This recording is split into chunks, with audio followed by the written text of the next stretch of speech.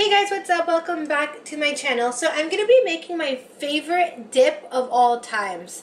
I usually eat this, not all the time, obviously, because it is qu quite rich. And by rich, I mean fattening. So if you care about fattening things, then make this once in a while like I do. Um, and if you are the one that doesn't care about fattening foods and eats whatever, you guys are living it. And good for you. I wish I was like that. So this is my four cheese dip and it's basically a lot of cheeses and I'm to be dipping it with my yellow corn chips. You can use also like tor like tortillas, mm, bread, you know, whatever you guys have on hand, dip it. If you don't have anything to dip it with, use a spoon. I would not judge you for that. So what I'm to do first, I'm to cut my spinach. Yes, there's spinach involved. You don't taste it. You actually don't taste it.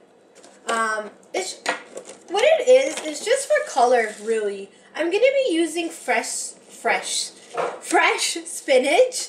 Um, I never buy frozen stuff unless it's fries and like hash browns and popsicles. but uh, I try to stay away from frozen stuff. So I'm gonna be using fresh spinach. Alright, so what I'm gonna do, and I'm cooking Alfredo pasta on, on like the background, so you guys will be hearing other stuff there too, but my main focus right now will be the dip. If you are interested how I make my Alfredo pasta, then I might do that in another video. So right now, I'm just gonna be, oh, this is gonna be tough, but I'm just gonna chop my spinach just roughly. Doesn't have to be perfect because you're going to be cooking it in the pot to let it shrink. And once this shrinks, guys, it will be literally like that much spinach. In fact, I might need more. So I'm gonna add a little, I'm gonna add the whole thing, guys. Let's live. See how much spinach there is here, guys? Watch. Once I cook it, it's gonna shrink to like literally two tablespoons. Alright, I'm just to keep chopping my spinach. I went from hating spinach to loving spinach. Like, I'm addicted, addicted to spinach now. Like, I love spinach. I eat it every day. And it's like so good. Once you get into spinach, you have to kind of like train yourself into liking it and once you actually finally like it you actually really can't go back to not liking it. It's really good. Alright so I already have a pot behind me ready with some olive oil a little bit of olive oil inside so just so that my spinach won't stick. So I will take you guys over there thinking if I should go like that and then put it in but I'm gonna carry my camera so I have another plan I'm just going to put my chopped spinach back in its bin.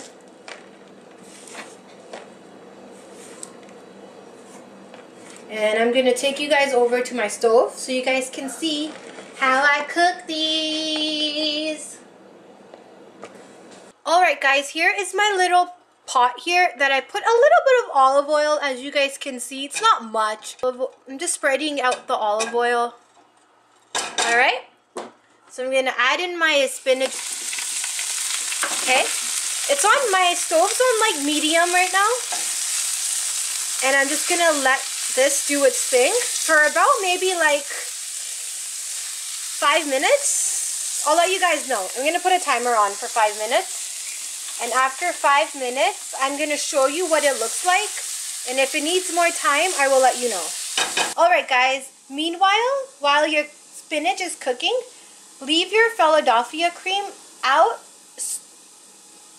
so it's not cold. Just leave it room temperature.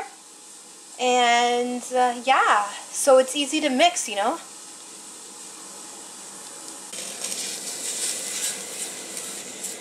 Alright guys, I'm just going to put it back on my wooden cutting board.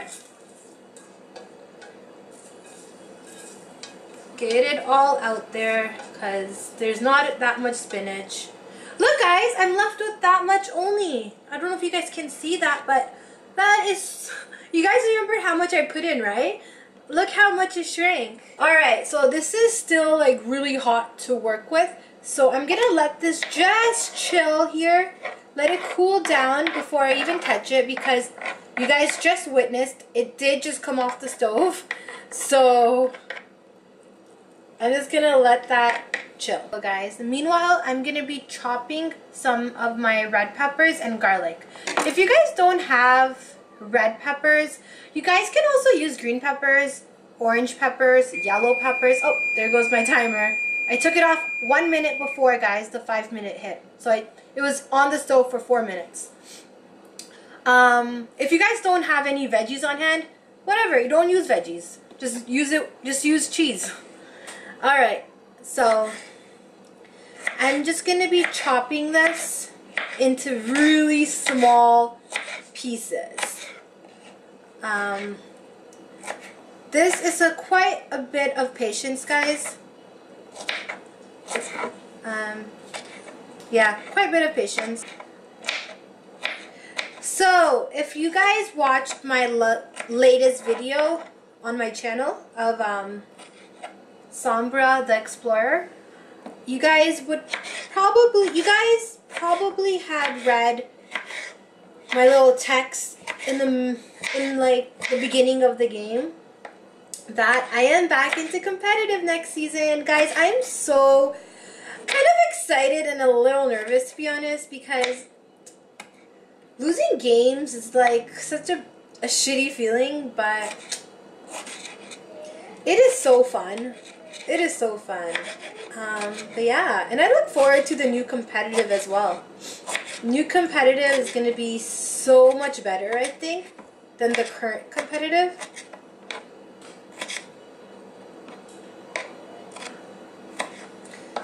Alright, now I'm going to go, I'm going to use a bigger knife to chop it even smaller, guys.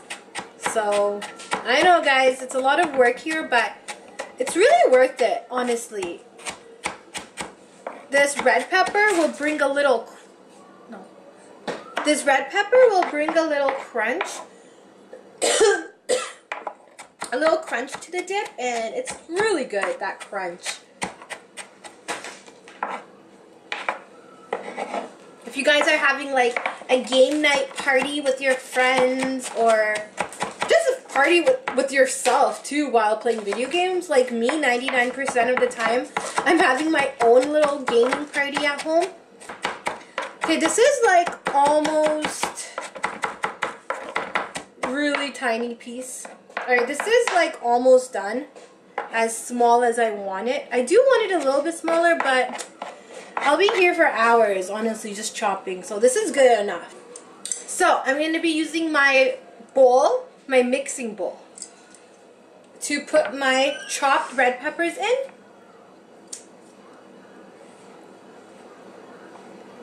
Now I'm going to chop in my garlic, guys. Garlic is a little bit of patience as well because it has to be really, really small or else you're going to be tasting big chunks of garlic if it's not small and you don't want that. You don't want to taste a big chunk of garlic in your food, you know that is just a no-no. And I'm not saying I'm a chef. I am not a chef at all, guys. Not even close to being a chef. But I know a thing or two of cooking because I have been cooking since I got married. I before I got married, I never used to cook. My mom used to cook. And I just used to eat her food and that's it. I didn't cook at all, to be honest. I think the only thing I used to cook was like Kraft Dinner. Um, but ever since after I got married, I just started cooking, guys. And yeah, it's been so fun. So let's keep chopping, keep chopping. See? That's how fine you want it. Actually, a little bit more fine. Alright guys, this looks like it's about done. It's red because of the red pepper I was chopping earlier. So that's how fine you want it to be. So I'm going to put it in here along with my chopped red peppers. I added like two cloves of garlic. Then this piece I'm just going to put it back in the fridge. Just put it there for now. Alright, this seems like it is fine to work with now.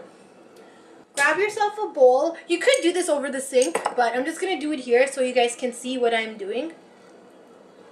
So grab all your spinach in your hand like that. Now watch all the juices, guys, that will come out. You want all the liquids to be out of your food. If you guys don't do this, then your dip is going to be very, very moist and very watery. And you don't want that. So just, I'm just going to keep going. And I will show you guys what it looks like. Alright guys, that's the liquid that came out of the spinach. I'm just going to leave that aside for now. Alright guys, so now I'm left with literally that much. You guys seen how much I worked with? It was literally like two cups, maybe one and a half cup to this. Alright, so now what I'm to do is I'm to go ahead and chop it. I like it really small. So I'm to chop this. So yeah, I've been really enjoying these cook with me videos. Um, a lot, guys. I love cooking and you know, I love making videos in general. Making videos is like so much fun. Like recording and then going back and editing it into making it even better. It's just so much fun and I really enjoy making videos. So if you haven't subscribed to my channel yet guys, subscribe because I'm going to be doing a lot more cook with me videos. A lot more competitive Overwatch next season though. And I am thinking about getting the new expansion pack for Sims that came out in July for console. It's um Tropical Paradise, and I do want to get that. Um, I'll get it probably this month, so you guys may even see some of that on my channel. Alright guys, so since I chopped it very, very, very small, I'm going to go ahead and crumble it in here. Along with my garlic, my red peppers chopped garlic and red peppers. Alright, alright guys, that's how it looks like inside. So now what I'm going to do is I'm going to wash my hands, clean my cutting board, and I will show you guys the next step. Okay guys, I'm back. So, I have my chopped ingredients in here. Now what I'm going to do is I had my Philadelphia cream already out for maybe an hour. It's room temperature. So let's open it up. If you guys had it out already, it should be easy to mix in. Um, but if you guys haven't, I would recommend keeping it out for a little bit just because it's easier to mix, guys. And if you're impatient and you just want to put it in right out of the fridge, put it in, you can do that. I've done that because I, I'm impatient too sometimes.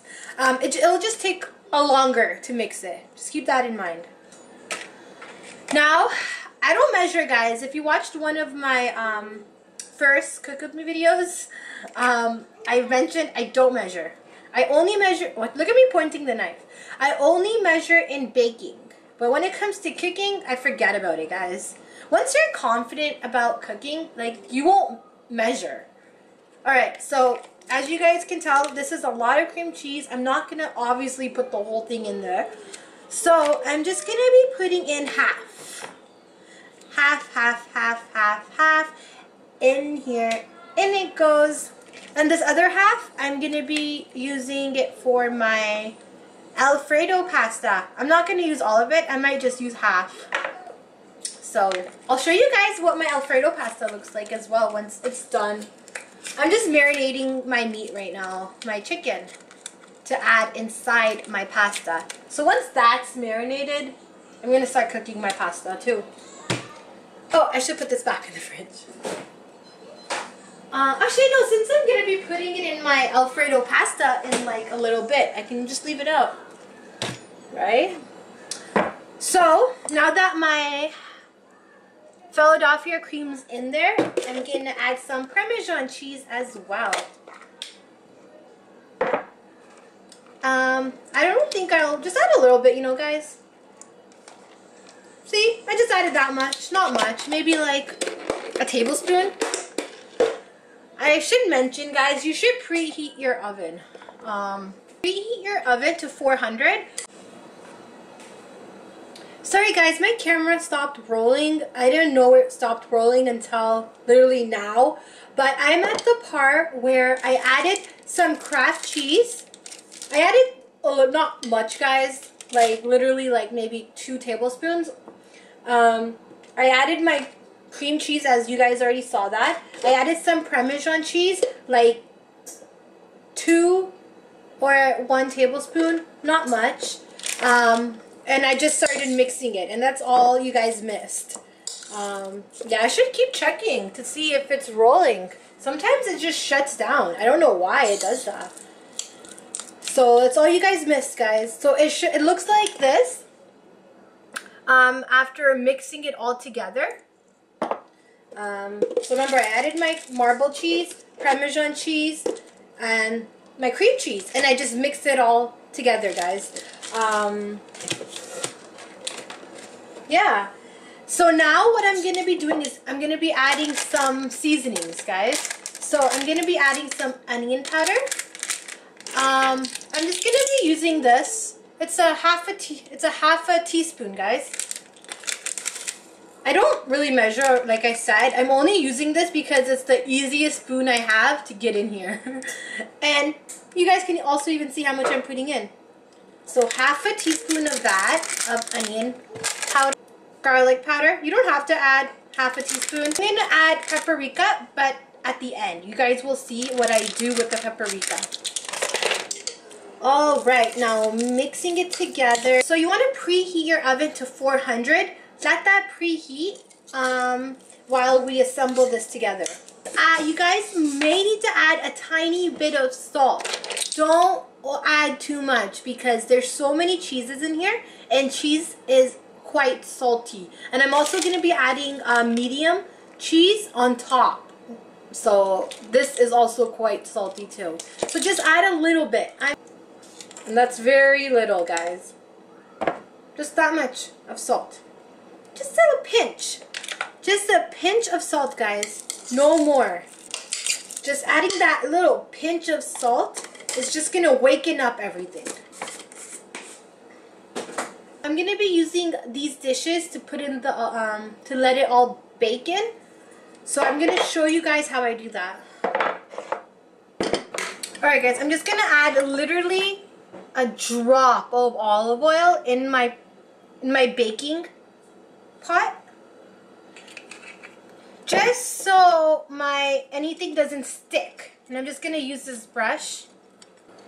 So I'm just gonna brush it all on the sides. Just so it just doesn't stick you know? Why make something so delicious and if you can't get it out of out of the bake dish? Alright so this is what I'm gonna do guys grab a spoonful.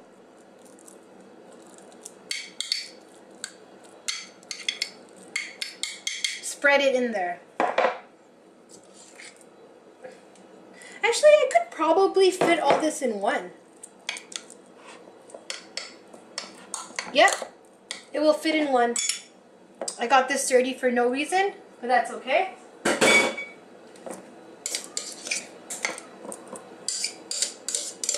Scoop it all out, guys. Don't leave anything behind. This is all good stuff.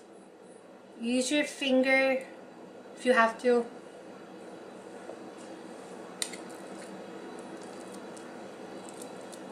Alright guys, this is my favorite part now. Look at that! That looks so good. If you guys ever been to Kelsey's, um, they also serve this. And that inspired me to make my own because, oh my god, theirs is so good.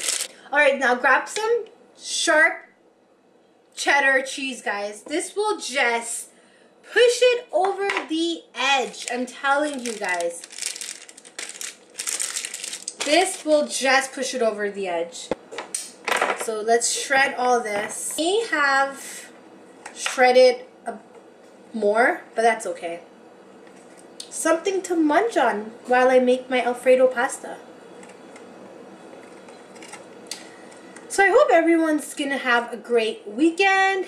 It is Saturday here and I am cooking dinner like usual. Alright guys, so I'm gonna put my cheddar cheese on top. Guys, I can't wait to eat this. I like really can't. Remember guys, it's rich. it's rich. Okay, I definitely shredded a lot more cheese than I needed. But whatever. That's okay. Alright, so my oven's preheating right now. It's not ready because I literally preheated it a bit later than I should have. The corner. This is to be so cheesy, guys. Alright, last step. Last step, guys. If you guys have cayenne pepper, that will work. I don't have cayenne pepper. I have paprika, which is fine. Literally add a pinch, guys. A pinch. Like that much. And just sprinkle it on top. And this would also just push it over the edge. Okay, I think this is too much, so I'm going to put this back.